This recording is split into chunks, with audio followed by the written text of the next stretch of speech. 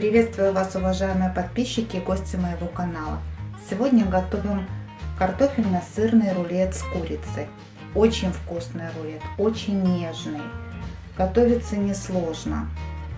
Продукты, которые нам потребуются, вы сейчас увидите на своих экранах. Также зайдите в описание под видео, оставлю ссылочку на плейлист «Горячее». Возможно, что-то для себя вы там еще найдете.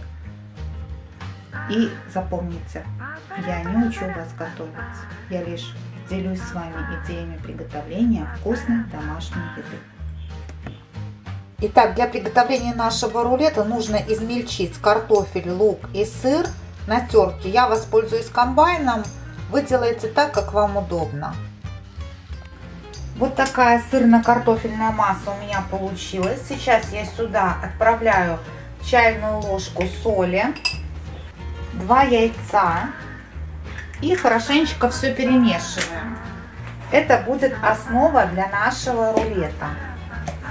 Перемешанную массу отправляем на противень. У меня противень стандартный 30 на 40. Противень нужно застелить хорошей бумагой для выпечки с силиконовым покрытием. Либо возьмите, смажьте бумагу растительным маслом. Так, все разравниваем и отправляем в духовку минут на 15. Нам нужно, чтобы корж схватился. Итак, температура 180 градусов, минут на 15 отправляем наш корж. Пока запекается корж, займемся начинкой. У меня три куриных бедрышка и половина большой луковицы. Сейчас это мяско нужно пропустить через мясорубку. Можно взять любое другое мясо, можно взять куриное филе, это на ваше усмотрение. Итак, я перекрутила на мясорубке мясо и лук. Сюда же добавляем сметану. 3-4 столовые ложки сметаны будет достаточно. И еще добавить нужно соль. Начинка должна быть слегка солоноватой на вкус. Так, перемешиваем нашу начинку. А здесь уже смотрите на то, чтобы начинка была достаточно жидкой. Мы должны ее намазать на наш корж. Поэтому, если начинка густовата, можно добавить немного бульона, в котором варилось мясо. Попробуйте начинку на вкус обязательно. Добавьте специи, если хотите. Ну все, начинка готова. Немного подрумянился наш корж. Вот он так сверху хорошо уже, можно его потрогать. Он уже здесь не сырой, но он еще, конечно, не готов. Сейчас нужно начинку прямо на горячий корж намазать и скрутить рулет.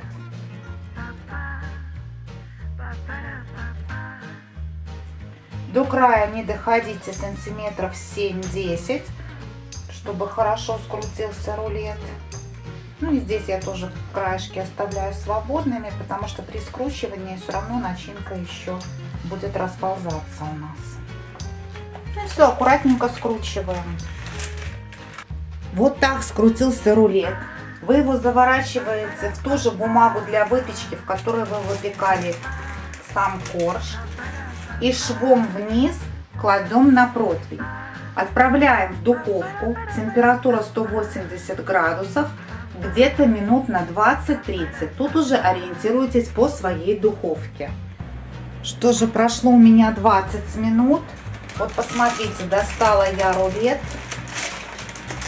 Вот как он получился. Он не пригорел, это он так зарумянился. Просто камера как-то вот искажает на самом деле цвета. Сейчас даю ему слегка остыть и будем подавать к столу. Если хотите, можете поверху еще посыпать сыром. Что же, вот такой очень нежный, очень сочный картофельный рулет у нас с вами получился. Рулет очень нежный, очень мягкий и на самом деле получился очень-очень вкусный. Приготовьте рулет по этому рецепту. Я желаю вам приятного аппетита. На этой вкусной ноте я с вами прощаюсь. Заходите и подписывайтесь на мой канал, советуйте мой канал своим родным и знакомым. И, конечно же, не забывайте ставить лайки и нажимать на колокольчик, чтобы не пропустить новые видео на моем канале. Пусть все рецепты будут вам всегда по карману.